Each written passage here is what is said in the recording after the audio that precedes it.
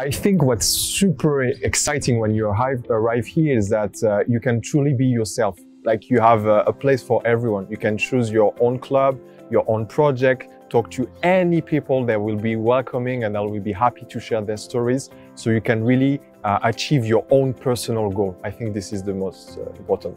What I like the most about UC Berkeley's ecosystem is having the opportunity to collaborate with people from everywhere around the world on innovative projects. I think I'm learning a lot thanks to them. The US is the fourth country I'm studying in after France, Russia and Vietnam. And I think it really turned me into someone flexible and open-minded. It's definitely the academic achievement I'm most proud of. What I like the most about UC Berkeley ecosystem is first that we are constantly surrounded by very ambitious and successful people, uh, whether they are professors, mentors, investors, or even peers. And I also feel like in here, failure and mistakes are not a big deal, especially for when it comes to project.